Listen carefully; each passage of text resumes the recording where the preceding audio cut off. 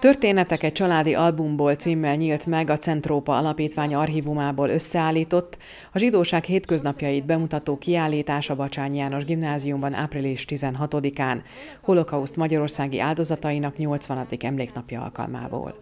A tárlat családi sorsokat, egyéneket, életutakat mutat be, áldozatokat és túlélőket egyaránt. A kiállítás egyik különlegessége, hogy a diákok részt vettek annak berendezésében és tárlatvezetésre is vállalkoztak. A himnusz hangjai után Jursi Gergő énekes-gitáros előadásában hangzott el a Száz éves pályaudvar című dal.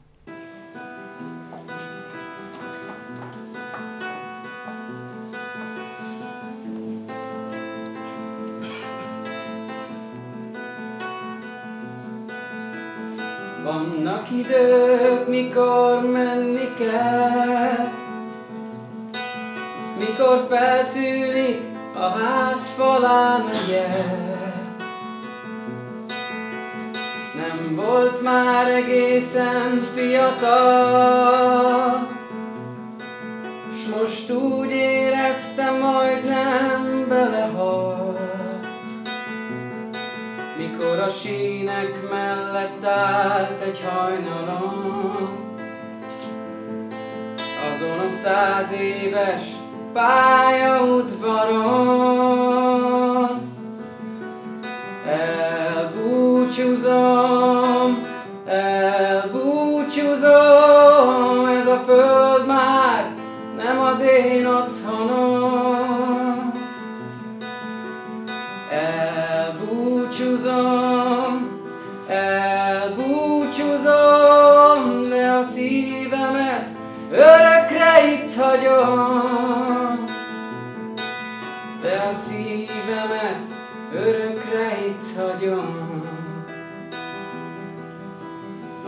Az utcákon a gyűlölet vonul, és a láthatáron felizzott a. És ő tudta jól, hogy most már menni kell,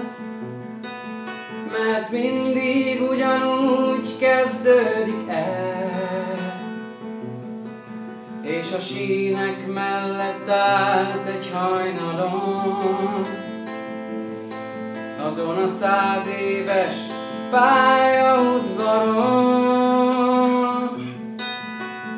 Elbúcsúzom,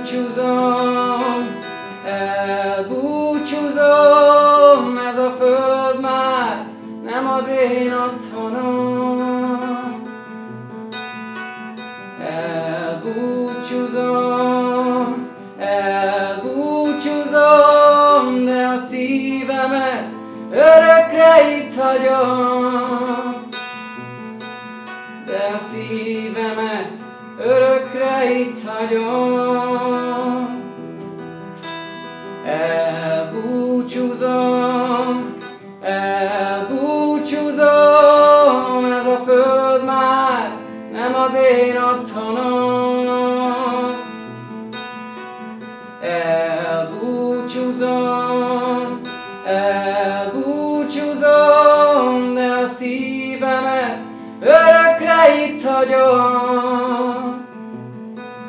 De a szívemet örökre itt hagyom. A tapolcai zsidóság történetét Riba Erzsébet tanárnő elevenítette fel a 320 évvel ezelőtt érkezett első családoktól egészen a közelmúlt eseményeiig. Az vagy, amit teszel, nem az, ami történik veled. Tisztelt vendégeink, kedves kollégáim, diákjaink, tisztelt megemlékezők! Szeretettel köszöntöm Önöket Edith Éva Éger gondolatával a Tapolcai Bacsányi János Gimnáziumban a Magyarországi Holokauszt Áldozatok Emléknapja alkalmából a Centrópa Alapítvány támogatásával rendezett Történeteket családi albumból elnevezésű kiállításunk megnyitóján. Edith Éva Éger tanítója már gyermekkorában megmondta, hogy az életben befelé kell figyelni, és az érzelmek is belülről jönnek. Csak akkor értette meg, miről beszélt tanítója, amikor édesanyja a marhavagomban magához szorította, és azt mondta 16 éves lányának. Nem tudjuk, hova visznek, mi fog történni, de azt, ami a fejedben van, senki nem veheti el tőled. Gimnáziumunkba egy olyan kiállítás érkezett, amely a hétköznapok felől közelíti meg a megemlékezés témáját, a 80. évforduló alkalmával szerveztük mindezt. Tisztelt vendégeink, kedves megemlékezők! Lapozzuk fel együtt a Tapolca családi albumát. 320 évvel ezelőtt érkezett településünkre, a török kiűzését követően az első zsidó család kereskedelmi céllal. A környék nagy birtokosa, az Eszterháziak több család befogadását engedélyeztették a Habsburg udvarnál, de még a Veszprémi püspök is bérbeadta földjeit a betelepedők számára. A pozitív fogadtatás, a kölcsönös elégedettség hatására egy évszázad múlva Leszner Júda már megalakíthatta a zsidó közösséget, hitközséget, melyhez legalább tíz férfi kell.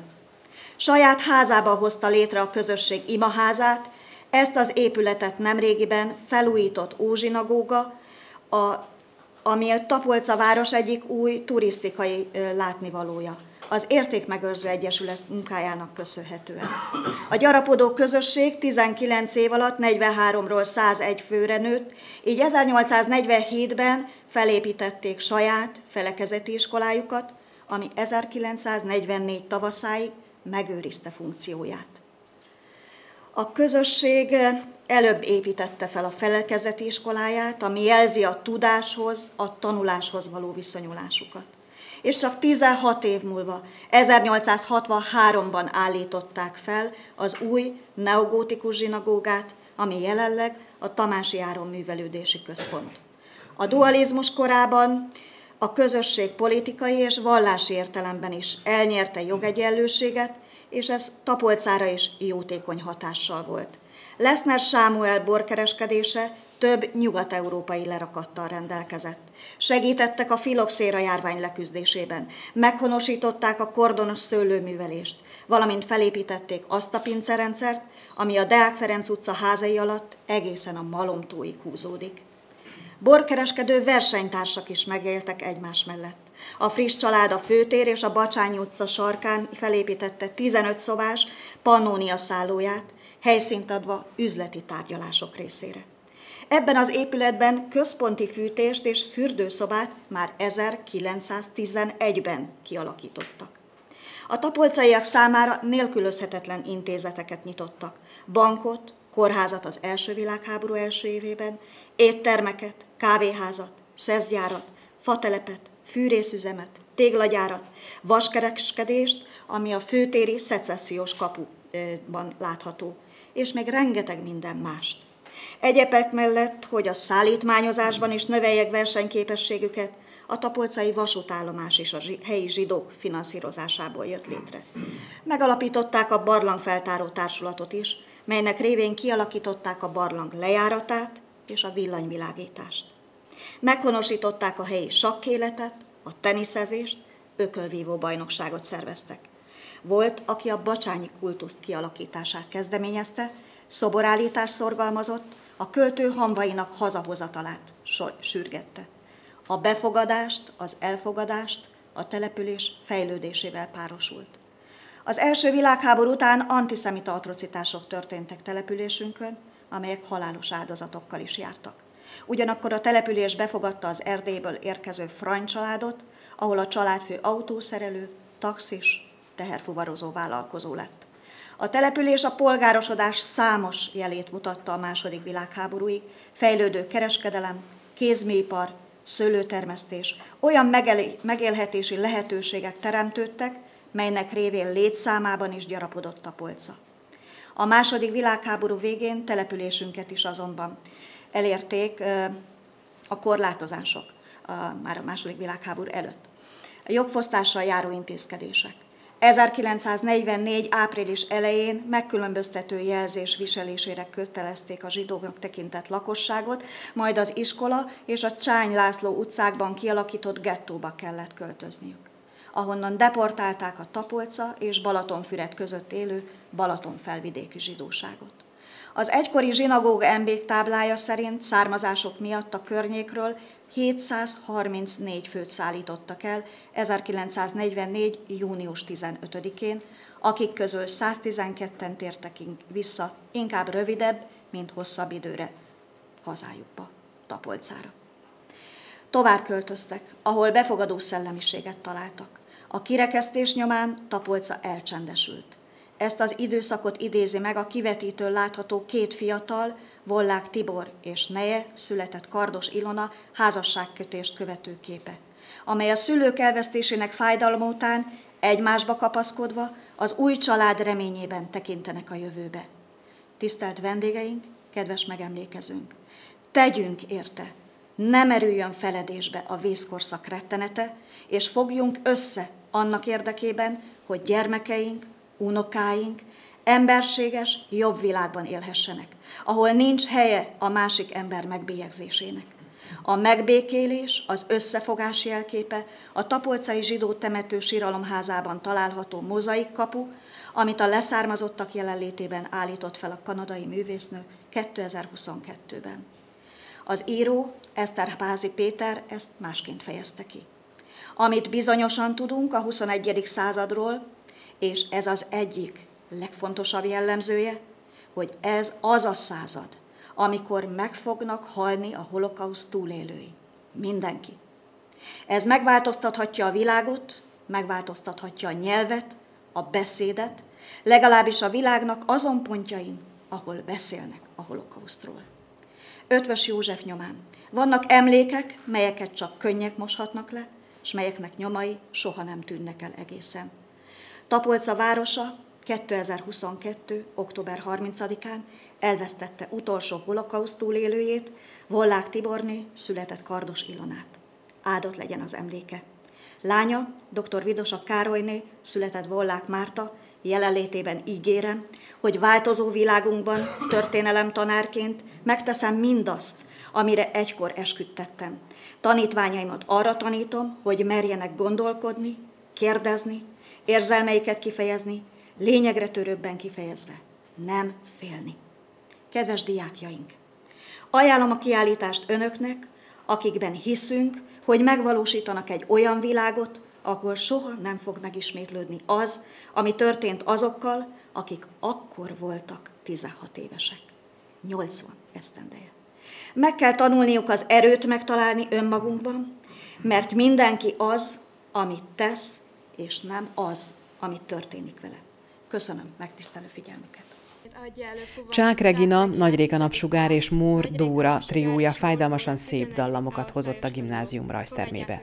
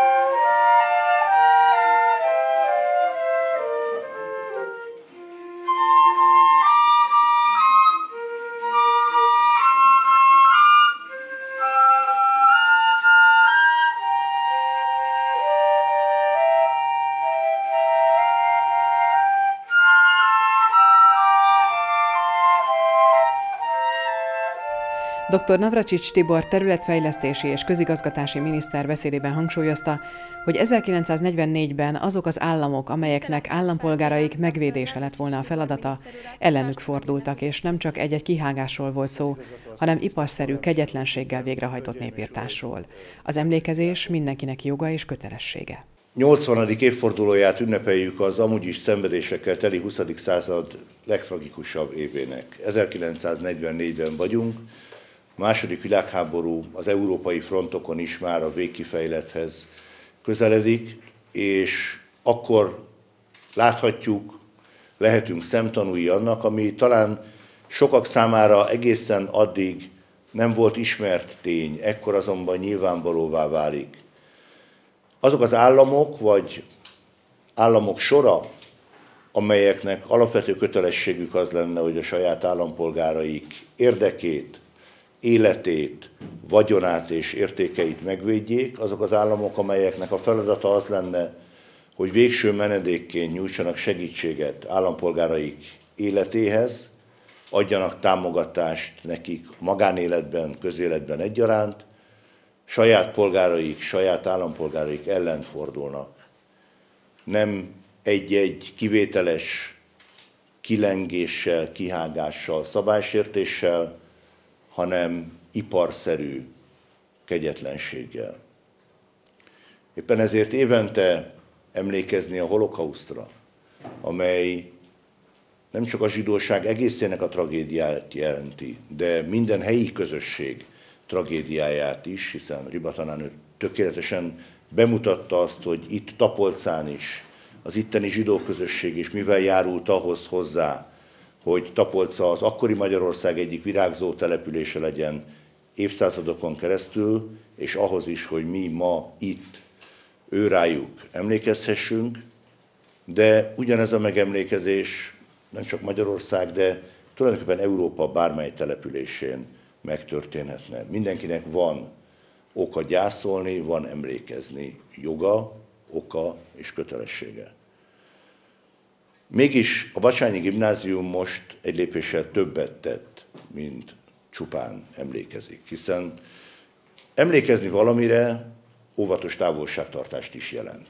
Megnézzük a múlt eseményét, mint egy képes albumot. Szomorú, vidám képekkel forgatjuk, de mi nem vagyunk részei. Azzal, hogy a gimnázium itt nem csak helyet adott ennek a kiállításnak, hanem lehetőséget adott a diákoknak arra, hogy bekapcsolódjanak a kiállítás elrendezésébe, a tárlatvezetésbe. Ezáltal nem csak Tapolca közügyévé tették ezt a kiállítást, nem is csak a gimnázium közügyévé tették ezt a kiállítást, de a jövő nemzedék egyik feladatává és alapélményévé is. A kiállításon családi sorsokat, egyéni életeket lehet megismerni, vannak köztük áldozatok, vannak köztük túlélők, de ezeken az egyéni történeteken keresztül az egyéni történetek egybefonódása, egymás mellé helyezésén keresztül a lényegét látjuk a holokausznak, amely a közösségek elleni iparszerű népírtás, amely egy közösség megsemmisítésére való törekvés, amely egy kultúra, egy civilizáció, és adott esetben egy közösség legtehetségesebb, vagy legszorgalmasabb, vagy éppen csak leginkább odaadó tagjainak életének megsemmisítését jelenti. És azért fontos ezt nekünk megtanulni nemzedékről nemzedékre, hogy ne ismétlődhessen meg soha ez a tragédia, továbbá, hogy ebből a tragédiából tanulva, ennek a következtetéseit levonva, a felelősséget, még ha csak közvetve is, de vállalva és továbbadva, annak érdekében tevékenykedjünk, hogy egy jobb világban élhessenek az utánunk a következő nemzedékek. A ma Magyarországa hitünk szerint jó indulatú emberek közössége. Hogy ez soha ne is változhasson meg. Ez a tanárok felelőssége, a diákok odaadó figyelmének az eredménye, és abban bízom, hogy ehhez ez a kiállítás is nagy mértékben hozzájárul. Köszönöm szépen.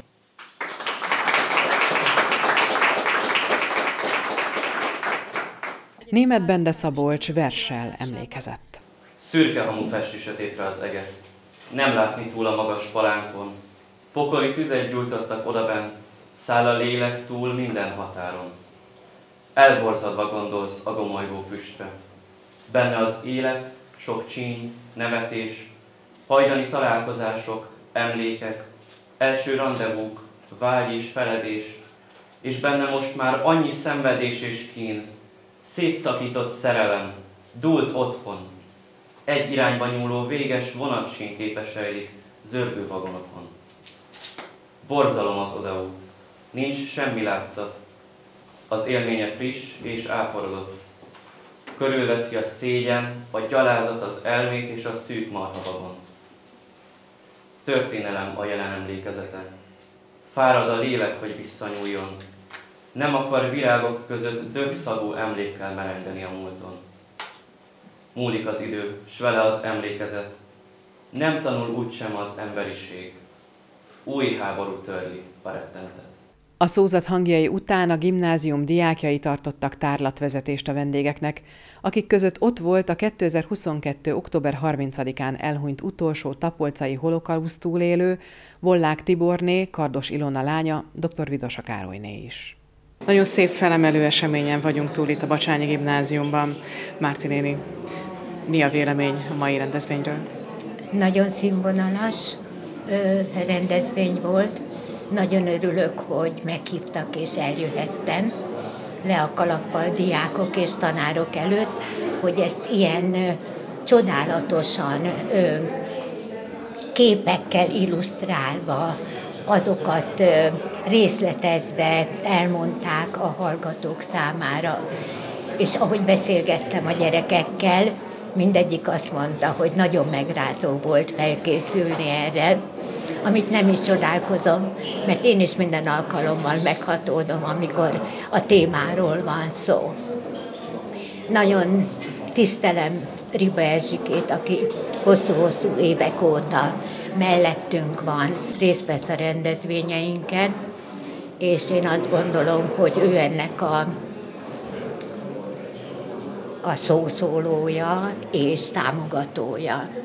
Úgyhogy őnek is külön meg fogom köszönni ezt, és nagyon jó volt, jól éreztem magam.